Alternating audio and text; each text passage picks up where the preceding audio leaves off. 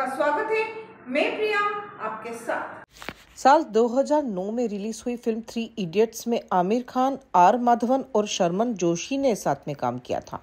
Engineering students की life पर based इस फ़िल्म के कई सीन में तीनों एक्टर्स को नशे में दिखाया गया। एक्टर माधवन ने हाल ही में दिए एक इंटरव्यू में इसी में से एक सीन का ज़िक्र किया। माधवन ने बताया कि फ़िल्म के एक सीन के दौरान आमिर का आइडिया था कि ड्रंक सीन में एक्टर्स को ड्रंक होने की एक्टिंग नहीं करनी चाहिए, बल्कि वाकई में ड्रंक करके नॉर्मल रहने की एक्टिंग करनी चाहिए। माधवन ने आगे कहा, आमिर के इस आइडिया पर काम करते हुए हमने सीन शूट होने के एक घंटे पहले ही ड्रिंक करना शुरू कर दिया था। हालाँकि वो शॉट टेक्निकल इश्यूज़ के चलते दो से तीन घंटे बाद शुरू हुआ और हम तब तक ड्रिंक करते रहे। इसके बाद जब शॉट देने का वक्त आया तब मुझे और बाकी एक्टर्स को लगा कि हम नॉर्मल है, पर हम एक शॉट देने में कई घंटों का वक्त ले रहे थे। साल 2009 में रिलीज़ हुई फ़िल्म थ्री इडियट्स ने 400 करोड़ रुपए का ग्रॉस कलेक्शन किया था।